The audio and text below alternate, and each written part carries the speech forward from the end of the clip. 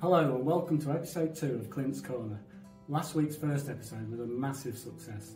I ended up getting four likes, one from my wife, one each from my two kids, and one from the dog who accidentally walked over my iPad that I'd left kicking about on the floor.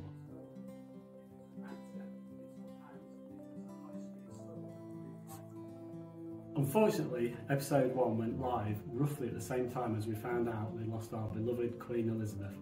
Therefore, I wasn't too disappointed when the hashtag Clint's Corner wasn't trending on Twitter that night. Before we continue with episode 2, I'd just like to thank Connor for his amazing editing skills on the last episode. He managed to make me look slightly less wooden than a chair leg.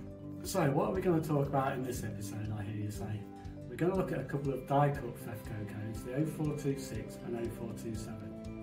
Firstly, I'd like to apologise. Last week I was waffling on about FEFCOs and 0201s and 0203s and not really explaining what they were.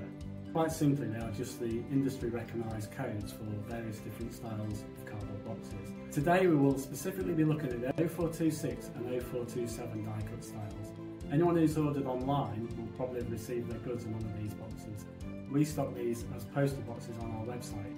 These boxes are good for packing clothes, most people enjoy when they order a pizza because they are normally delivered in these styles of boxes.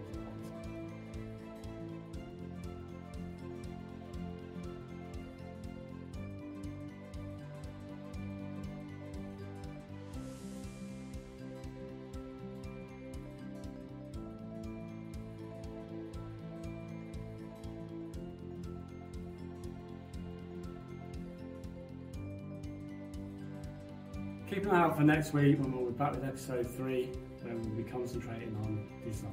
Thank you for watching Clint's Corner today. Please give us a like and add a comment and then you might just let me carry on doing this. After all, it's better than doing work for an hour.